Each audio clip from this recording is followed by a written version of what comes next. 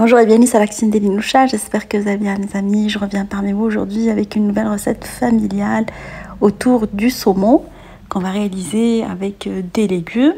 Recette cuite au four accompagnée de sauce aux champignons, une autre petite sauce euh, aux fruits de mer. Découvrons le... Alors on va commencer par euh, huiler un plat à long four. Alors j'ai mis de l'huile d'olive dans le plat, je vais le badigeonner de tous les côtés et je vais disposer dedans un filet de saumon alors, euh, je l'ai pris entier, je vais le laisser entier. Et je vais pratiquer quelques incisions dedans. Alors, le filet est bien nettoyé. Je l'ai gardé avec la peau. Et je l'ai séché avec du papier sopalin. Alors, une fois qu'on a pratiqué les incisions dedans, on va venir par la suite le badigeonner avec du beurre persillé. Alors, si vous n'avez pas de beurre persillé, vous, pouvez très très bien le remplacer par du beurre. Et vous rajoutez dessus de l'ail et du persil haché. Alors je vais prendre un citron que je vais venir découper en tranches et les demi-tranches, je vais les introduire dans les incisions qu'on a pratiquées. Ça vient parfumer le, le saumon. Alors on trouve que le citron se marie très très bien avec le saumon. Alors après, vous mettez du sel, du poivre et un tout petit peu de piment si vous aimez bien manger pimenté. On va enfourner le tout dans un four préchauffé à 200 degrés pendant 25 minutes, le temps nécessaire de préparer les légumes on passe après à la préparation des légumes. Alors j'ai pris des asperges. Alors je vais couper les pointes et je vais garder le tout, le, reste. Les pieds pour préparer un bouillon si on souhaite. Je vous réaliserai un bouillon de légumes avec les chutes euh, de légumes. Alors je prends également un pied de brocoli que je vais venir découper en fleurons. Alors vous pouvez le réaliser avec les légumes de votre choix.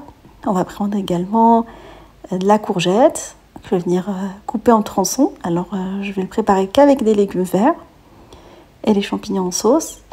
On va émincer les champignons. Alors, j'ai pris un mélange de champignons, champignons de Paris et champignons roses que je vais venir euh, émincer.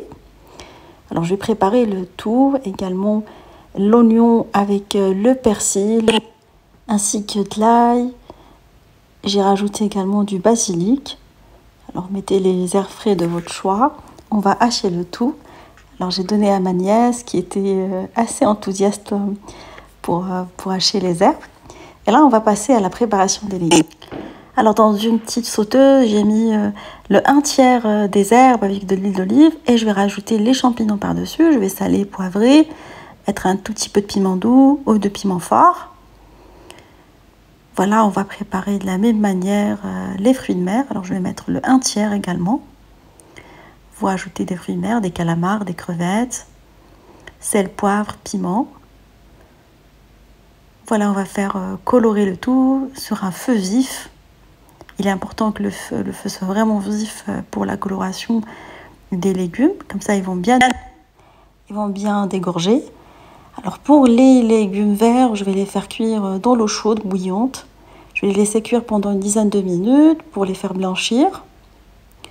Alors je vais laisser euh, les champignons et les crevettes euh, calamars bien dégorgés. Une fois qu'on n'a plus d'eau, on va préparer une petite sauce. Alors j'ai mis de la crème liquide ainsi que du maïzena, fécule de maïs. On va mélanger les deux. Et je vais verser cette petite sauce euh, par-dessus les champignons.